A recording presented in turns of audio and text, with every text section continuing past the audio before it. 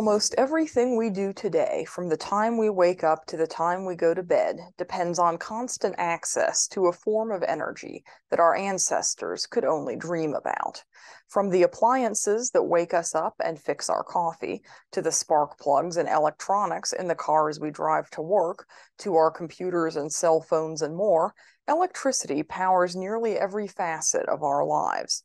Yet, not so much more than a century ago, it was the stuff of pure fantasy, like the electric submarine Nautilus in Jules Verne's 20,000 Leagues Under the Sea. Practical electric power was unthinkable before the Industrial Revolution. It remained barely thinkable for most of it.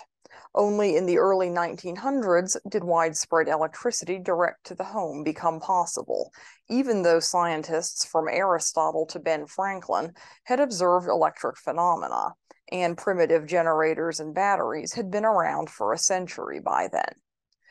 But when the moment came, it came fast.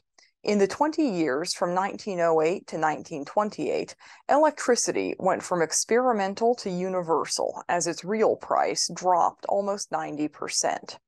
The telephone and then the radio became commonplace. Factories converted from steam power to electric and moved and worked on parts from end to end of long assembly lines powered by electricity. The time to manufacture a Model T car fell from 12 hours to less than two, and its price from $1,000 to 250. Electricity made new types of smelting possible, and new metals like aluminum and titanium came into use. Millions of households hooked up to the spreading power grid. Much of the dirt, soot, and smoke of the coal fired existence vanished, replaced by the quiet, clean hum of electrical machines and appliances. Lifestyles changed, and they've never been the same since. What powered this surge of electrification so many decades after the first generators and batteries? It might be more accurate to ask, why didn't it happen before? The ingenuity wasn't lacking. Some of the greatest minds of the 19th century, like Michael Faraday, worked on electricity nor was it the danger of a fatal shock at the time, no likelier than a boiler explosion or an oil fire. No, what had been keeping electricity rare was the scarcity and expense of the one metal most needed for it copper. Since the earliest experiments with electricity, inventors had zeroed in on copper as the best conductor. No metal other than silver did such a good job of getting electrons to flow from point A to point B constantly, evenly, and without any fuss. And while copper was not exactly cheap, it was cheaper than silver. In the middle to late 1800s, most copper came from complexes of mines in Michigan, Mexico, Australia, and the Andes, later from southern Africa and Montana. In aggregate, these produced a few tens of thousands of tons of copper each year. But this was the accumulated total production of many thousands of mines, most of which produced perhaps a ton per day from networks of tunnels that resembled a human sized ant colony and were just about as high tech. Only the largest of the underground operations had machinery like pneumatic drills and steam engines. At most of them, the fanciest mining equipment around would have been instantly recognizable to any miner of the preceding two centuries. As mining was slow and laborious, production was low and costs were high. In a depression toward the end of the 1800s, the price of copper dipped to the equivalent of about $6 a pound today, but for all but a few years that century, it cost double to quadruple that. Accounting for differences in income and GDP, then, it was more like the equivalent of 25 or $30 a pound today. Nobody was going to be making lots of electricity or moving it anywhere at that price, or usually higher. And volatility made it even worse. The copper price was so prone to violent swings that a commentator dubbed it one of the greatest gambling counters of Wall Street. It had a habit of unpredictably doubling and halving multiple times per decade. Partly this was because tiny mines operating on a shoestring had no idea how much copper they could produce a week ahead of time, much less a year. No one could forecast production. But even more volatility came from a series of 19th to early 20th century shenanigans that included a nationalistic British copper smelting oligopoly, followed by a price fixing French syndicate, topped off with an attempted market corner by a copper mining subsidiary of U.S. Standard Oil. Unfortunately, the British oligopoly was done in by the emigration of skilled workers bearing trade secrets. The French syndicate collapsed because the bankers who financed it didn't actually own the mines whose production they were trying to limit. And the American market corner fizzled because the geniuses at Standard Oil had forgotten that competition existed in the copper business. After several rounds of alternate price setting and underselling attempts left their amalgamated copper subsidiary hemorrhaging money, it dissolved. The Anaconda Copper Corporation swallowed its remnants, and the episode went down in history as one of the few times that market forces hoisted John D. Rockefeller's company on its own petard without any help from the government.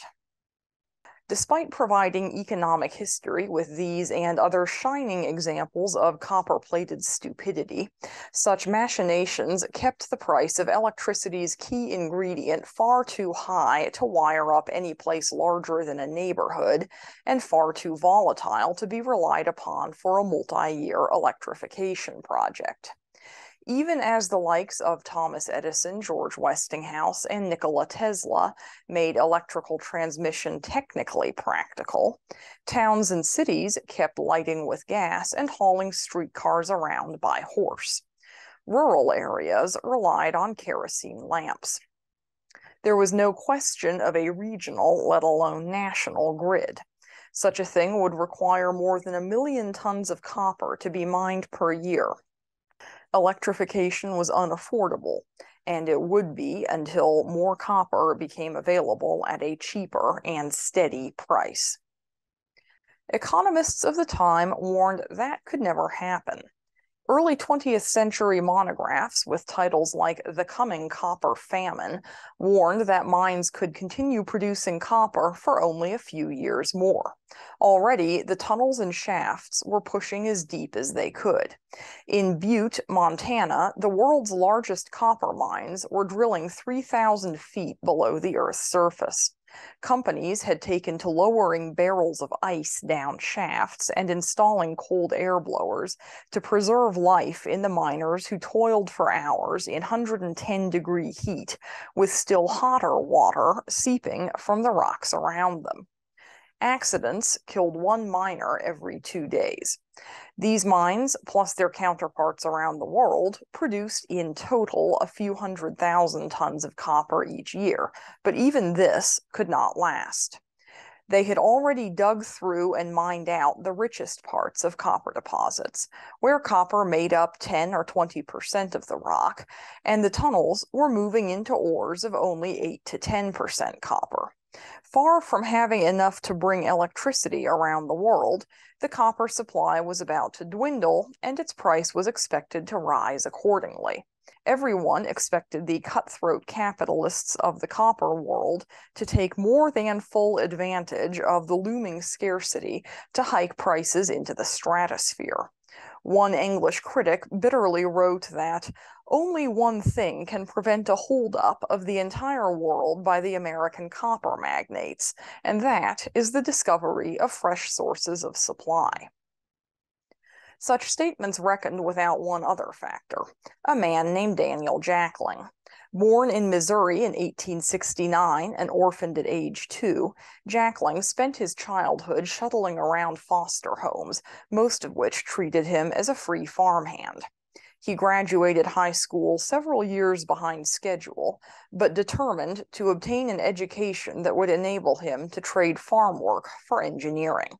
He finished a bachelor's degree in metallurgical engineering in 1893 and headed out west to seek his fortune. Jackling arrived in a Colorado gold mining camp with $3 to his name, having walked 18 miles from the train station since he couldn't afford a stagecoach ticket. He was quickly hired as an extractive metallurgist, finding ways to get the gold out of the ores more efficiently. His career progress was rapid. Two more years found the then 29 year old in charge of designing and building a new gold extraction plant in Utah. Jackling decided to take a double risk on new technology. He abandoned the old and proven, but poisonous and environmentally catastrophic, mercury amalgamation method for refining gold, substituting a new extraction method instead. And perhaps even more consequentially, instead of having a series of coal fired steam engines and lots and lots of hired workers run the plant, he splurged on all electric machinery and went for a fully mechanized operation. Though highly expensive, the innovative plant was a success. It made Jackling's employer one of the wealthiest men in America, and it made Jackling himself ambitious for more. In 1899, he was dispatched along with one Robert Gemmell to evaluate a gold prospect outside of Salt Lake City at a place called Bingham Canyon. The gold deposit that had been reported turned out to be underwhelming but the rocks nearby contained 1 or 2% copper over an area of more than a mile. The deposit was a type called a porphyry, with a huge center of igneous rock surrounded by limestone and other sedimentary rocks. The whole thing had been altered by copper bearing waters millions of years before, and all the rocks, both the porphyry ones in the igneous and the skarns in the sedimentary part, carried copper ore it would make a gigantic copper mine if it could be made a mine. Nobody except Jackling and Gemmell thought it could. In those days, mines were underground, and underground mining was plainly too expensive a process to make money off the 1 or 2% copper at Bingham. Instead of hiring thousands of miners and digging shafts, the mine would have to be dug as a giant pit starting right at the surface, with dynamite blasting rock, steam shovels loading it, and locomotives hauling it in railroad cars, all at rates of thousands of tons per day. Such a high volume of production, Jackling and Gemmell proposed, would make up for the lower amount of copper in the rock mined. But for this kind of mine, they would need $3 million, the equivalent of nearly 36 million today, up front. And it would take several years of work to build all that infrastructure before mining, and thus money making, could start. This investment might have been considered worthwhile on a known mine with a demonstrated profit margin and an average of 10% copper. To plow it into an untried method operating on a never before mined type of deposit with less than a quarter of the usual minimum of viable copper concentration in a volatile era when people got into the copper markets after they got bored playing Russian roulette didn't just look like a risky investment strategy. It looked like the 1900 version of day trading cryptocurrency while drunk. Jackling's boss shelved the idea, and investors ranging from the Guggenheims to Edison's electric company refused to even consider it. The professional engineers at the Engineering and Mining Journal never evaluated Jackling and Gemmell's proposals by name, but summarized their views on the general concept. It would be impossible to mine and treat ores carrying 2% or less of copper at a profit. There appears to be no doubt as to the worthlessness of the proposition. Gemmell gave up in disappointment, but Jackling persisted. In 1903, three Colorado mine financiers reluctantly agreed to invest enough for a small scale version of the mechanized pit mine that he had envisioned. Jackling hired skilled miners and started underground in the best parts of the deposit. At his instructions, the miners high graded relentlessly, providing enough cash flow to keep the investors from backing out, while Jackling developed his detailed plans for a bigger and better mine. The timing was fortunate, as Jackling was high grading enough to persuade his investors that he wasn't crazy, copper markets were rising again. The gap between high demand and low supply was rising, in 1905, it had started to yawn.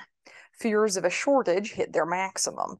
Prices rose, and the Guggenheim family suddenly decided that Bingham Canyon was a worthwhile investment after all. They stumped up nearly $8 million for the operation. Three years later, Jackling had eight steam shovels dumping blasted ore into railroads that moved around the mine wherever the active face was, carrying ore to the largest concentrator and smelter on Earth. And his new open pit mining method was more profitable mining 2% copper than the old underground mines were at four or five times that. Jackling's idea spread beyond Utah.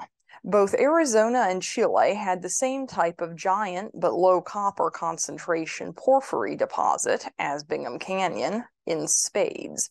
Soon, open pits were operating there too. The smaller underground mines of earlier years, with their lower production and higher costs, started to drop off. Most of them would close within two or three decades after the open pits began. Each open pit could produce tens of thousands of tons of copper every year at lower cost by mechanically mining huge amounts of rock.